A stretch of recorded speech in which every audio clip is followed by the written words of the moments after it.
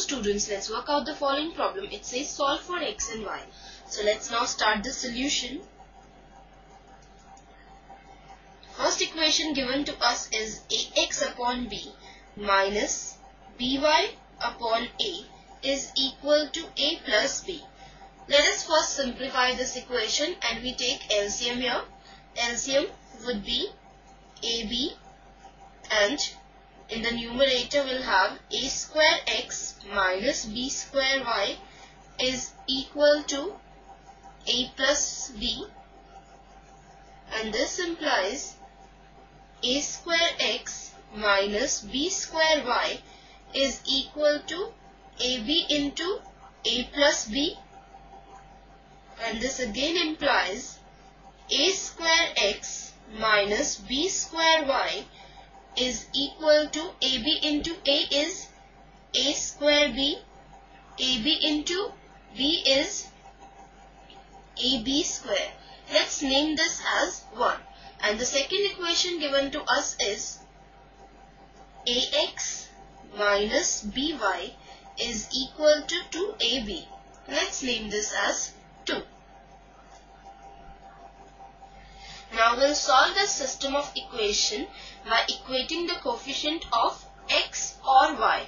And here we'll be equating the coefficient of x. For that, you see that we need to multiply second equation by a because in the first equation the coefficient of x is a square and in the second equation the coefficient of x is a. So we need to multiply equation 2 by a. So multiply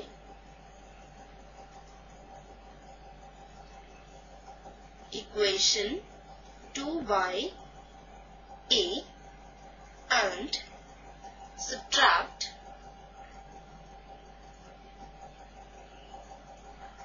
from equation 1. Now the first equation is a square x minus b square y is equal to AB into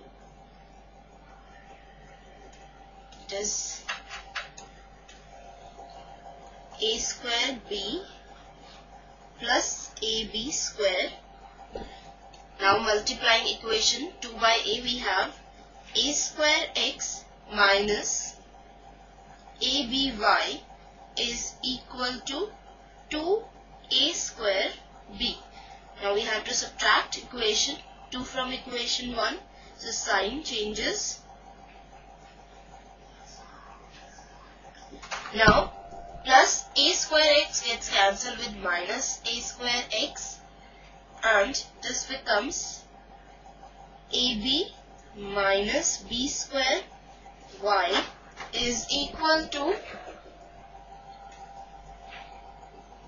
a square b minus ab square it's plus ab square minus 2a square b. So this implies b into a minus by taking b common is equal to ab square a square b minus 2a square b is minus a square b. And this again implies b into a minus by is equal to taking ab common. We have ab into b minus a. And this implies y is equal to ab into b minus a upon b into a minus b and thus again implies b gets cancelled with b we have y is equal to taking minus common we have minus a into a minus b upon a minus b and now a minus b gets cancelled with a minus b and we have y is equal to minus a. Now we'll put y is equal to minus a in any one of the two equations, either equation 1 or equation 2 to get the value of x. So we'll put y is equal to minus a in equation 2. So from equation 2 we have ax minus by and here y is minus a is equal to 2ab. So this implies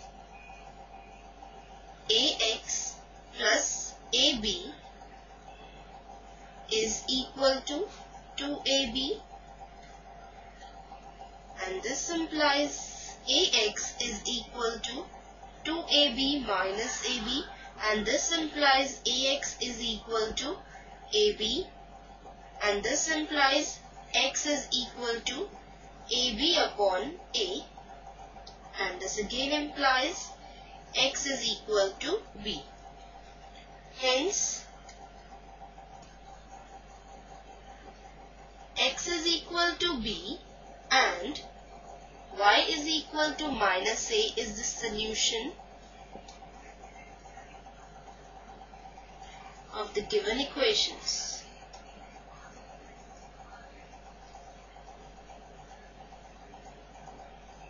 So this completes the question and the session. Bye for now. Take care. Have a good day.